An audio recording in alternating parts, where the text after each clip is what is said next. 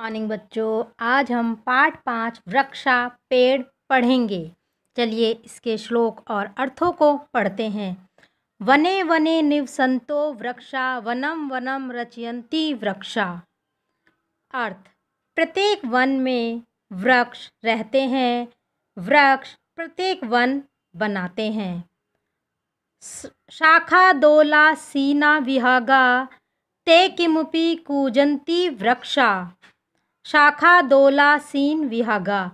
पक्षीगण टहनी रूपी झूलों में बैठे हैं। ते किमुपी कूजंती वृक्षा, वृक्ष उनके द्वारा कुछ भी कूकते हैं। पिबंती पवनम जलम संततम, साधु जना इव सर्वे वृक्षा। पिबंती पवनम जलम संततम। सभी वृक्ष सज्जन लोगों की तरह हैं। वे निरंतर पवन और जल का पान करते हैं। इस प्रशंति पादे पातालाम च नभा शिशु विहंती वृक्षा। इस प्रशंति पादे पातालाम च। वृक्ष जड़ रूपी पैरों से पाताल को छूते हैं। नभा शीर्षसु वहंती वृक्षा तथा सिर पर आकाश को ढोते हैं। पयोदर्पणे स्वप्रतिबिम्बं कौतुकेन पश्यन्ति वृक्षा।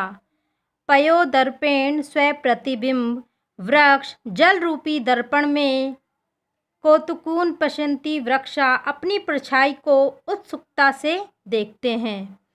प्रसार्य स्वच्छ छाया संस्तरणम कुर्वन्ति सत्कारम वृक्षा।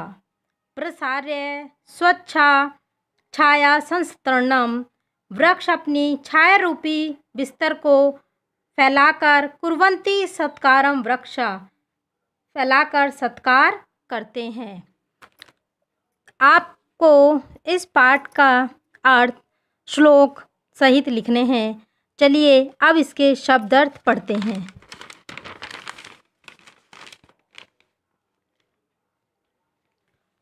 वने वने प्रत्येक वन में निवसंते रहते हुए रचयंती रचते हैं। शाखा, टहनिया, दोला, झूला, आसीना बैठे हुए, विहगा, पक्षीगण, किमपि कुछ भी कूजंती कूकते हैं।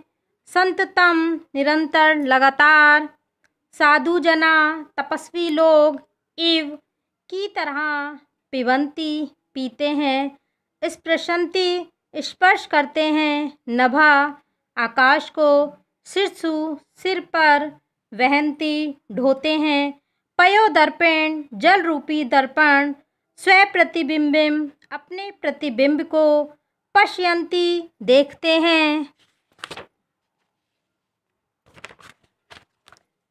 कौतुकेन आश्चर्य से प्रसार्य फहलाकर स्वच्छाया संस्तरम अपनी छाया रूपी बिस्तरे को सत्कारम, आदर।